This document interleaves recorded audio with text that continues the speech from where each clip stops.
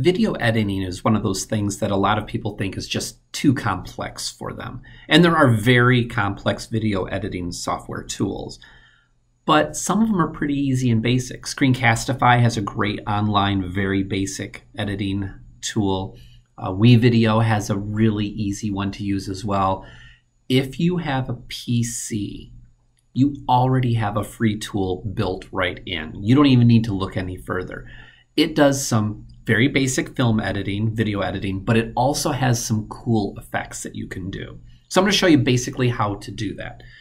The first thing you do want to do is have any of the videos that you want to work with already on your device. So just download them. I have a few here right here on my desktop. I just put them there to work with really quick. All you need to do is go to the bottom left where it says your search box and just type in the word video. You should get this app that comes up, Video Editor app. If for some reason you don't see that, if you type photos in and you open the Microsoft Photos app, there is a button to create a video project, and that gets you to the same program. So you should be able to see it just by typing the word video in. Click on the Video Editor app. It'll open up. And yours will probably be blank. You haven't made any, but there is this button right here. It says New Video Project. Go ahead, click on that. It's going to load and it'll ask you to name your project. I'm going to name mine Demo Video Project and then click the OK button. And what you're greeted with is the basic interface. It's very simple. It's very easy to use. So on this left-hand side, you'll see all of the media that I have uploaded to my project. Well, right now you can see there's nothing there. I'm going to click the Add button and I'm going to do it from this PC because that's where I've stored my videos. I put them on my desktop. I'm going to go ahead and click all of those videos that I did, and I'm going to hit the open button. And there they are. So there's the videos I get to work with. So here's the media that I can use. This is your preview pane. This is where you can kind of see your video and preview it and see what it's going to look like, like what the final copy would look like. Down at the bottom is my storyboard. And this is my working area. This is how I can reorder things, how I can add tools or add little special effects to it. But you need to start somewhere. So I'm going to go up to my media up here. And these are basically the sequence. So I'm going to take the, the video I want first. I'm going to use this little newscast thing. I'm going to click and drag it, and I'm going to put it right in the very beginning. So that's going to be my first video. So we're going to have this newscast, and then we're going to talk about maybe the beach. I'll drag that to my second sequence. And we'll go from the beach to maybe the woods. And maybe we'll end by flying out into space. So the cool thing is it does nothing's permanent. I can reorder these however I want. So it's really easy. Just click and drag, reorder them however you want. Like maybe I wanted to add the fall in there too. So I can put that in. So there's my video. Now, if that's all I needed to do, put a couple videos together, I'm done and I can move on. There are a lot of other things you can still do. So a lot of times you want to start your video with something at the beginning, like a title card. If I go down here to this bottom section and I click on any one of my videos, you can see this line gets put right underneath the video. That's the clip that I'm working on. I can add a title card. So if I click add a title card, it pops it right in front. Now right now it's pretty boring and pretty blue. If I just click on that and I go over here to where it says text, it's going to give me some options of what I want. So here's my style and I'm going to choose this joy button. And each one of these has a different theme. So if I clicked on the simple button, you'll see the background changes. So each one of them is a little different. I also have a change in layout. So I can choose the whole screen like that. I can put the title up at the top, on the side, maybe smaller in the middle, at the bottom, maybe on the right. I have those choices. So I'm going to leave it full screen. I'm going to come up here and I'm going to say demo video. And if I like that, everything's good. I can trim it off a little if I want. I can make it three seconds. I can make it shorter. I'm going to leave it at three seconds. I think that's fine. I'm going to hit the done button.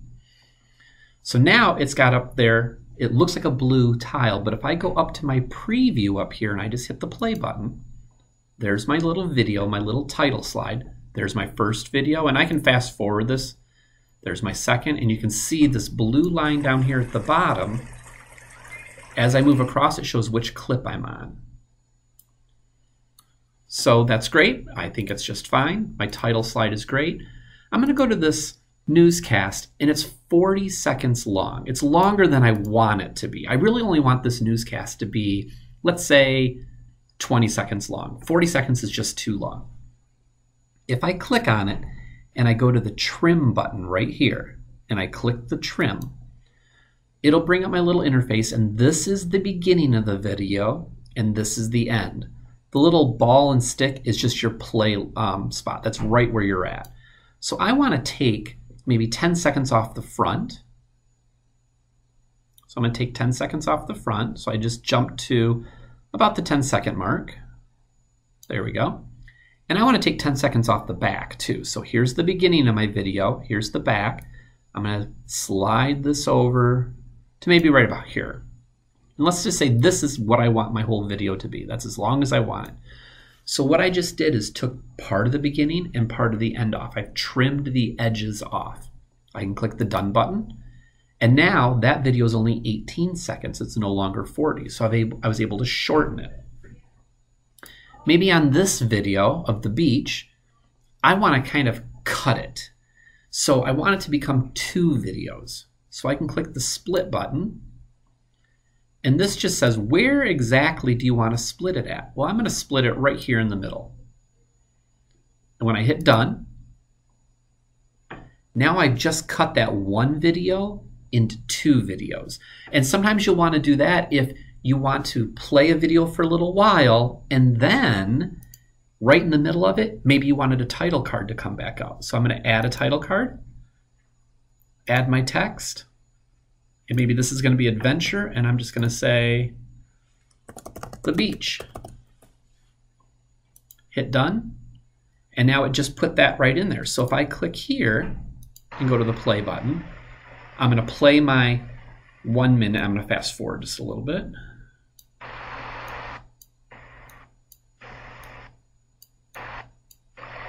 So it's playing this clip right here, and then it's going to jump to that title card for three seconds because that's what I chose, and then right back to the next one.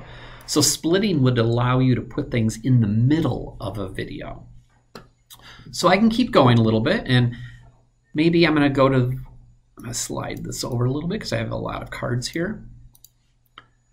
I can add text anywhere in a video too. So let's say you're looking at this wonderful scenery and you wanted to add a word in. So I make sure the line is underneath the video clip that I want to work with. I add the text button up here. And this time I'm just going to say classic. I'm going to say leaves. And once again, I can choose how I, where I want it, what I want it to look like. I liked it right there in the middle. I'm going to hit the done. Maybe I only want this for that duration, two seconds. Hit the done button. And now right in the middle of that, I've got the word leaves coming up. So I can add text to things. Motion is kind of that Ken Burns effect where it slowly zooms in. So if I went to a, if I went over to this and I chose motion, and I'm going to zoom over to the left, you can see, and it's kind of hard to tell, but this box is slowly moving over. What it's doing is it's slowly panning over.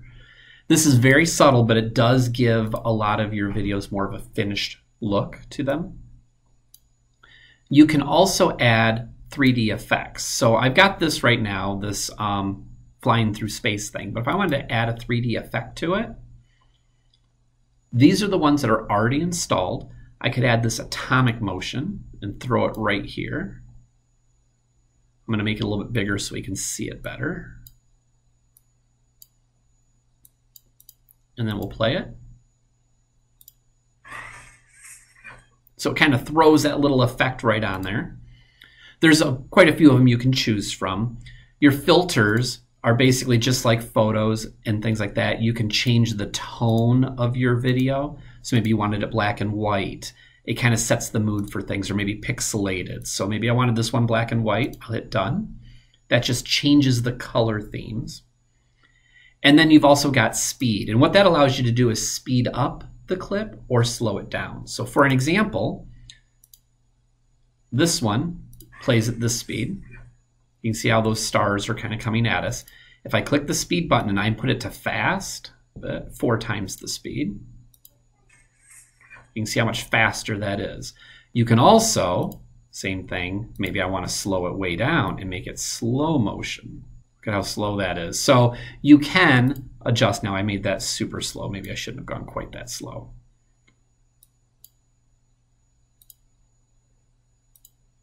Just got to let it finish loading. That'll be a little better. So that adjusts the speed that it plays. So I've done all these effects, and you can play around with those a little bit. You can even rotate um, your video 90 degrees every click. So sometimes you have a recorded recorded video with your phone that you recorded the wrong way. It's vertical instead of horizontal. You can rotate it very easily. So that's all the visual things, which makes it really, really simple to add some of these things. So you can look like a professional filmographer just by clicking some of these buttons. You can also add in music to clips. So maybe I wanted to go all the way back to this newscast at the beginning, and I wanted some background.